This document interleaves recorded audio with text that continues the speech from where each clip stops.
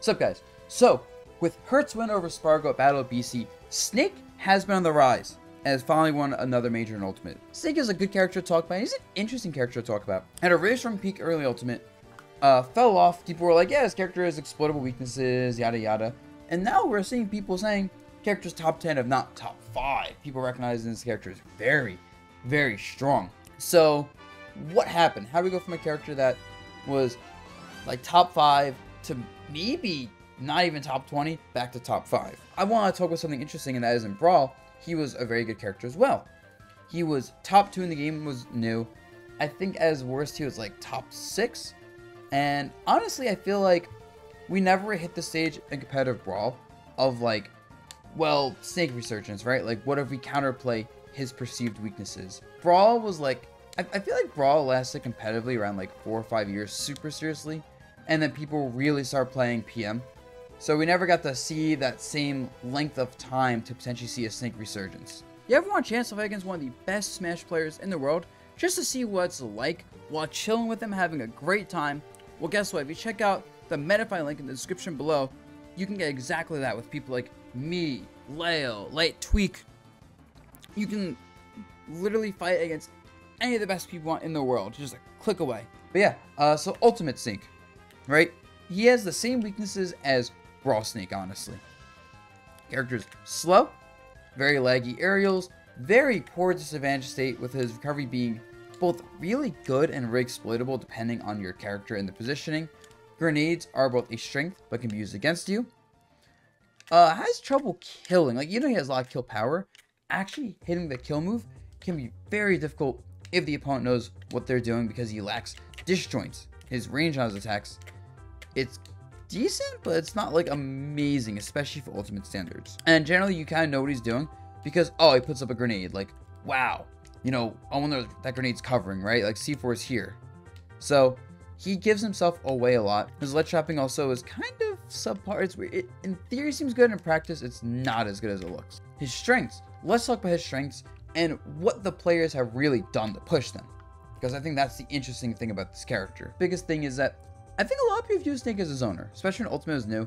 People are like, oh my god, you know, Snake's just throwing grenades. Wow, boo, explosions, explosions, explosions. People don't like watching Snake. And I don't know how, I thought this character was sick to watch. But anyway, um, but when you think about it, he doesn't really outzone most characters. Like, if your character is like a melee-based character, like a Falcon or Mario, yeah, sure, he's gonna zone you out.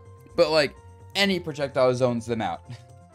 so, when you fight like an actual zoner, like a Min Min, a Samus, a Rob, he does not win by throwing grenades at them. He just, he, the grenades are too slow, they take time to explode. Like, they just lose to the tempo of other projectile characters. And Snake's are following up on grenades from these ranges. Like, you do like this and hit a grenade, which only does like 11 damage. You, you can't really chase them from that grenade explosion that well. Like, you have to be up close. Compare that to like Min Min where arm hits you and wow, you're dying. Or Samus Char hits you, she can follow up. I can think of more examples of zoners, but the idea is a real zoner can convert their hits into damage from much farther away in Ultimate than Snake can. What Snake's really good at is his CQC. When Snake's in your face, he is a monster, right? Almost 20 damage. 26 damage. 20 damage. Like, hits super hard, quick attacks, right? Like forward tilt, pretty quick button, 16 damage. Um, I think he can do up throw, up tilt. It's like hits like a monster. Of course, he's heavy, so he trades like a truck. Especially with all these single hit moves, he's not worried about like trading with one of his multi hit moves and doing no damage for the most part. And the thing that Snake players have done to really push this character is figure out how to get up close and force these situations. Like if you watch Spargo Hurt, something you'll notice is that Spargo's normal game plan of like space out aerials, like back air, control a lot of space with that, just didn't work versus Hurt. Because what Hurt would do is he pulls that grenade, right? Okay, that grenade is covering the space. Now Spargo doesn't want to land there or areas going to shield. Also, to mention, Snake's grenades are bigger for the opponent than him unless the opponent grabs the grenade and makes it theirs. It's like right there. It's a really massive difference. There was a grenade. Oh, like, oh, you, you, you don't want to be in that spot now. You're going to shield, he might grab you. If it hits you, he's going to follow up. C4 here, you don't want to be in this platform area. So he forces you either to place yourself in the corner here, to risk running underneath the C4, which is not a good idea. That's a problem, right? And then what if, and this is the big thing Hurt did.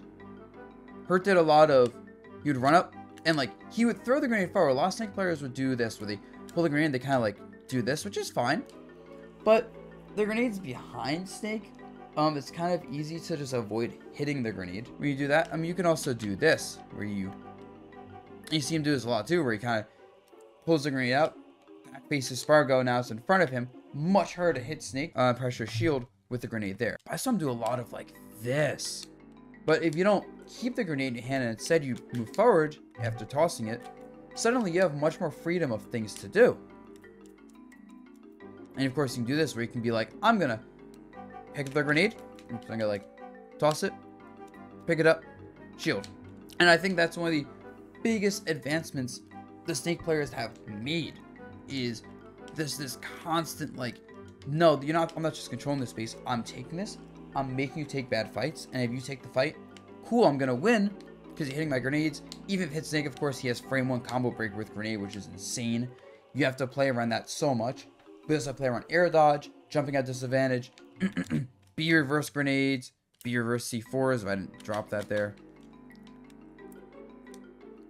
Like, you have to play around so much when you do hit the character, assuming, you know, he doesn't just have a grenade in the uh, field going, hey, if you hit me, the grenade's still gonna pop behind you and stop the follow-ups. And this is one of the things you really notice, I think, if you watch uh, Hurt play on FD. So, Snake players used to hate FD. Like, detested, right? Because the idea was, you want platforms for Snake. You want to drop a C4 on the platform and say, I control this platform. Same with grenade, you, you can't go on this platform, you can't go on this platform. Oh, all the platforms are coverage. And also for landing, right? Because when Snake is hit, he really wants to, like, he doesn't want to go to ledge. His ledge game is bad. You will see Snake players consistently would rather do something like this. Like if they go to ledge, they'll jump and then they might just be like, take the hit even. And you have to deal with that. So the platforms are really strong at letting him land. But what if instead you just get hit really high and you just throw a grenade onto the stage and something like FD? Just, and pretend this FD. Toss a grenade and you like kind of... Oh, oops, messed up. And now suddenly, the grenade's going to explode. You're going to land near the explosion. And that's awkward for the opponent to deal with. And I think that's one of the biggest things that Hurt does on FD, which makes him very good there, is he recognizes you don't need platforms to control space. You throw the grenades on places you want to land, and you can land just as effectively. And without platforms, you get to play around one of Snake's biggest weaknesses. You can air camp the shit out of Snake. I think most characters that beat Snake beat him because they just kind of go, okay, Snake, you want to, like, fight me up close, but you're slow, your aerial's kind of laggy, and just not great overall. What if I just go to a platform and don't fight you? Go to platform, throw a projectile, run away, go uh, throw a projectile, run away, pick up grenade, toss at you, pressure with your grenade, run away more, right? I think, for example, and there are strengths of platform stages, but I think it's a consistent weakness of his. That is something that like the Snake players have gotten better at dealing with with the space control as well. But yeah, and then of course the conversion. Something Snake players have gotten really good at is just their conversion. Because you always had like day one, like, oh, you do this. Cool. But I've now seen the Snake players starting to do things like this more often. Where they, they go for that stuff. Nikita follow-ups especially. Nikita was broken day one. And Snake players figured out things like if someone hits Nikita, you can like cancel it as it gets hit and they'll still pop him with the explosion, which is hard to showcase here. But the idea is like I let go of this as soon as it gets hit. And now they're getting punished for it anyway. Force them into poor recoveries, and then you can just go off stage and back air them. That lingering back air, one of the most effective edge guards in the game. Like Clouds off stage, you do this, you might just die. Covers directional air dodge very well.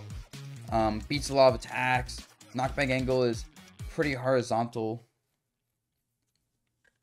And I just feel like that's one of those things where it's like the Snake players got really good at using this. And it meant that there you can't just counterplay Nikita and recover versus him. His edge guarding is genuinely very, very good. Uh, something I've seen Hurt do as well with the character, which has gotten, which I, I don't think is ledge jumping's great. So I've said this before, but he does put the C4 there, and it's scary, right? Well, here, this should be better. His ledge hold, yep, yep. So you put this, Kimana has no leg, and now suddenly they have to respect that situation. So you really, your goal with this character, the Snake players have realized, is prevent someone from jumping. You still can't juggle well. Even with like dash tech that chase on landings, like he, he can't chase the juggles well. So if you force people to recover low and go to ledge by controlling this airspace like this, like this, maybe with some of this, this, you set up this, which is really scary. Especially because this character, character is interesting. He can kill you at 100 easily, but he needs to get that opening. If you know what you're doing, that can be difficult. But if you're really, and this is something that the Snake players are not very good at, parries, right? Parry up tilt, phenomenal. Or this, I've seen so many Snake players now, they low profile so much stuff, they just go, alright, you're gonna do an aerial, crawl, punish. Or maybe some grabs even, I think you can crawl versus uh, random, there's just a lot of things you can crawl underneath, right? And just threatening people. Someone's on a platform, just gotta wait here. You have to do anything like, what, are they gonna do, fall through aerial? That's too scary. Are they gonna jump? What if you get the jump time? Because even if this whiffs because they jumped, that's fine. You can try to chase their platform landings. Or maybe it's on like a stage like Smashville where there's one platform, which by the way, Smashville is amazing for him. How important their recovery steps like are. Where it's like Snake players would before just, you know, recover low like this sometimes. And this is where they die versus good players. Like right here, you actually just don't exist. But since most ultimate characters can't chase this deep into the blast zone and live, you can use that to your advantage as this character. And of course, directional air dodge is insane in this game, and uh, even if you know how to punish it, if someone uses it right, that's that's a hard one to punish. I think that's kind of the point, right? Is like all of his weaknesses have counterplay. They have things you can do to make up for it, and Snake players have figured that out, and that is why we're seeing such a resurgence of the character with her, with Apollo Kage. Kronos is another player that has done well in the past couple years. Shogun was doing well in Japan, but I think he just recently retired. I think Dio does well. Like one of the most successful characters for a reason. And that's just my take on why that is. So I hope you thought this video was interesting and a little bit enlightening on this character. Peace!